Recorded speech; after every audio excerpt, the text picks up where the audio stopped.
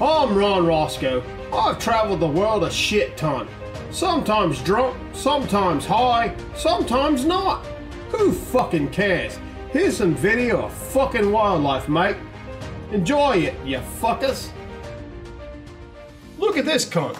He's got a Caesar salad on his back. He must have had a good night because he don't even remember shit.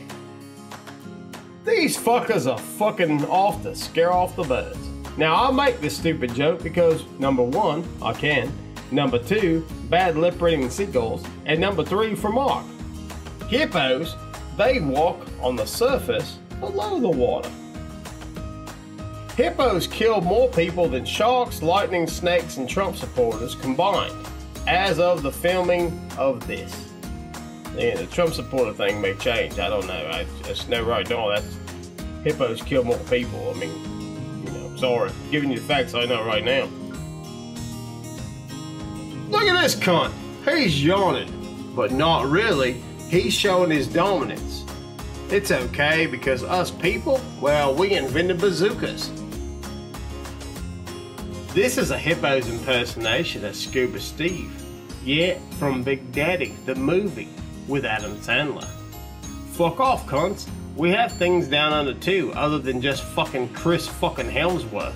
He might be a sexy fucking cunt, but the Marvel Universe, well, it's universal. It's not just American. Yeah, cunt. This shit's called my director, Jeremy, and producer, Larry, are cunt fucking idiots. Why?